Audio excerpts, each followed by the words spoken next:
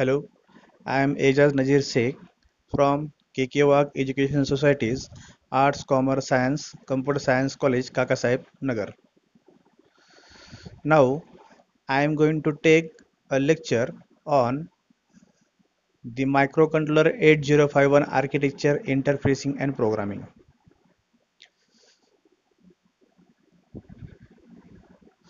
Now, I am going to explain the microcontroller timer programming.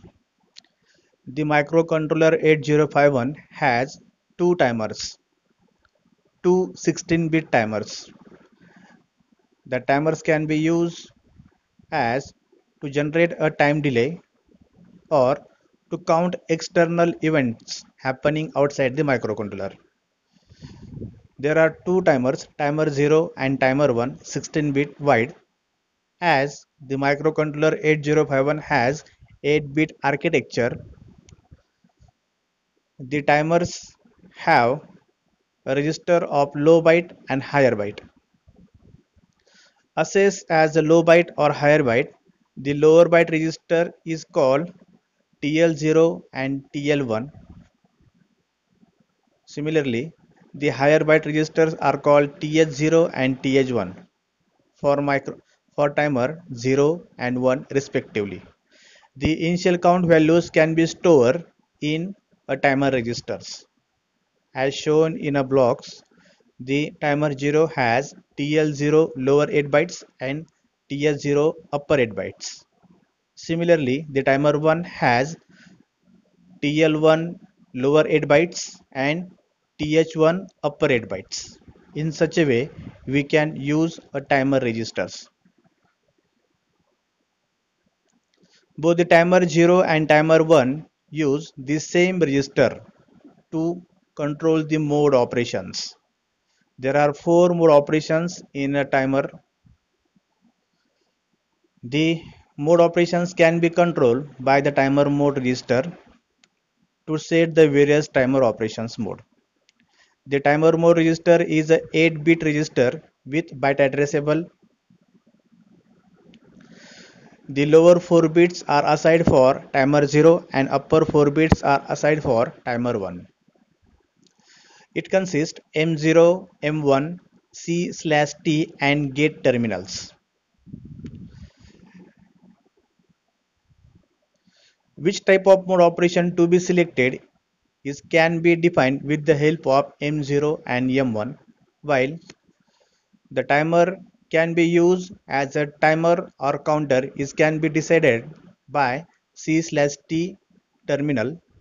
And finally the gate terminal controls when the timer is enabled. Only while the external pin or external interrupt pin are set. That is external events can be count with the help of gate terminal when it becomes logic 1 there are four mode operations mode 0 mode 1 mode 2 mode 3 mode 0 means a 30 bit mode timer operation. Mode 1 means a 16 bit mode timer operation. And mode 2 is auto reload 8 bit timer mode operation. And finally the mode 3 is a 3 bit split timer mode operation. In such a way we can use a timer in different mode operations the timer control registers controls the interrupt signals and turn on and turn off conditions of timers. The lower 4 bits are used to control the interrupt bits and upper 4 bits are used to control the interrupt signals and start and stop operations of timers. To start and stop operations, the TR0 and TR1 bits are used and to indicate the overflow condition TF0 and TF1 bits are used. Mode 1 operation Mode 1 operation is a 16-bit timer mode operation in which the timer can allows the values from 0000 to FFFF that is from 0 to maximum F, F, F, F to be loaded into the timer registers, lower timer registers and upper timer registers. After the lower timer registers and up lower timer registers and upper timer registers are loaded with the 16 bit initial value, the timer must be started with the help of instruction set bit tr0 for timer 0 and set bit tr1 for timer 1.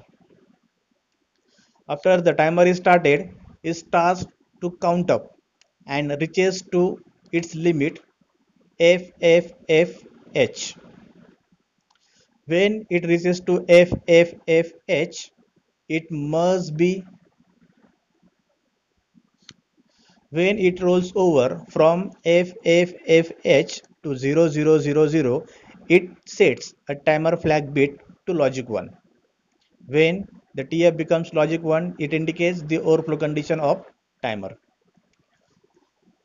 Each timer has its own timer flags TF0 for timer 0 and TF1 for timer 1. When this timer flag is set or affect, one options will be to be stop the timer with the instruction clear TR0 or clear TR1 for timer 0 and timer 1 respectively. So we have to stop the timer when the timer flag bit affect.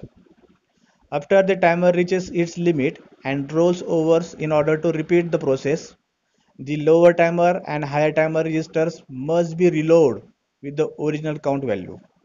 And then the affected timer flag bit must be reset or reload to 0.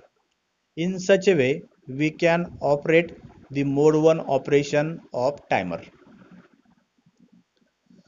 There are seven steps to conduct mode 1 operation. First, load the tmode value register indicating which timer with which mode operation to be selected. We have to decide the which type which timer with which mode operation is selected for the timing operations. Then step number two, load the register, lower timer register and higher timer register with initial count value. Then step number three, start the timer using instruction set bit tr0 or tr1. Then four step, keep monitoring the timer flag tf bit with the help of instruction jnb tfx target. Here to monitor the timer flag JNB instruction were used. When the timer flag of it means it becomes logic 1 get out the loop when the TF becomes high. In step number 5 stop the timer by using instruction clear TR0 or TR1. Then step number 6 clear the timer flag bit for the next round. To reset the timer flag bit using instruction clear tf0 or clear tf1 and step number 7 go to the step number 2 to load the lower timer and higher timer register again. In using with the help of such seven steps we can program the timer in a mode 1 operations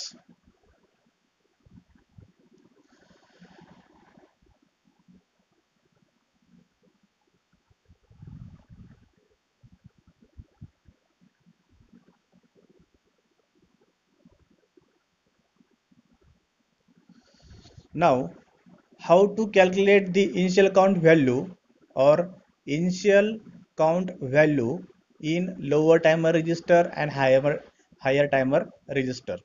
Suppose the crystal oscillator frequency used for a microcontroller is 11.0592 megahertz. Then we have to follow the following steps. In first steps, divide the desired time delay by 1.085 microsecond. If the crystal frequency is 11.0592 megahertz, then the timer time interval must be 1.085 microsecond. Hence, we have to divide the desired time delay by 1.085 microsecond. In step number 2, perform 65,536 minus n. Here the n is nothing but the decimal value we got from step number 1. In step number 3, convert the result of the step number 2 into hex number. So we get 4 digit hex number which is YYXS is the initial hex values to be loaded into the timer register.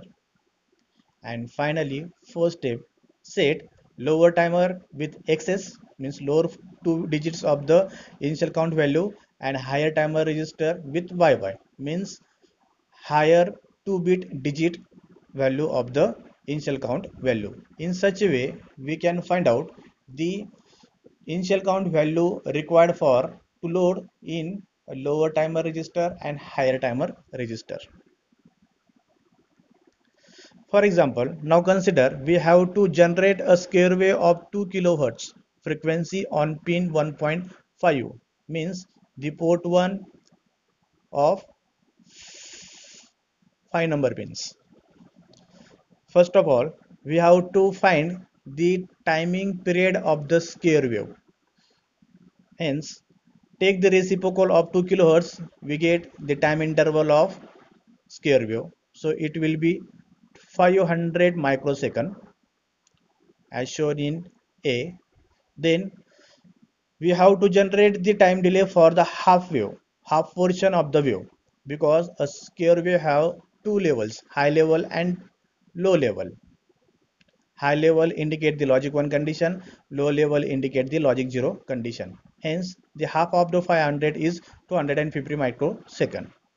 In next step in c divide the total time delay with 1.085 microsecond. So we get the value 230 this 230 is nothing but the n number of counts now subtract the 230 from 65536 we get 65306 convert this value into hex number. So the hex value of 65306 is FF1AH. So the initial count value is FF1AH. Then finally load this value in lower timer register and higher timer register that is TL is equal to 1A and TH is equal to FF in hex number in hex number system. Now the how the program to be performed. First move t mode comma hash 01h indicate the timer 0 with mode 1 operation is selected. Then load the initial count value that is move tl1 comma hash 1 ah and move th1 comma hash 0 ffh so the ff1h is loaded into the TH and TL register of the timer 1 after that start the timer with instruction set bit tr1 after the starting timer we have to monitor the timer flag. So here make a loop. Back jnb tf1 comma back. Here back to back loop. Monitor with the help of instruction jnb when the tf affect means become logic 1 condition it get out from the loop.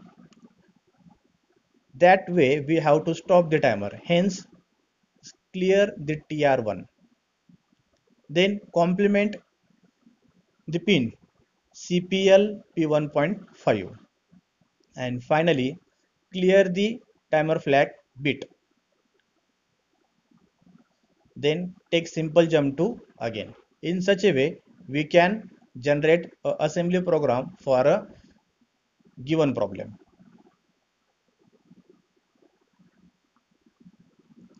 there are some problems similar problems here. We can generate a time delay for the specific time interval and we can we can count out the amount of time delay generated in a program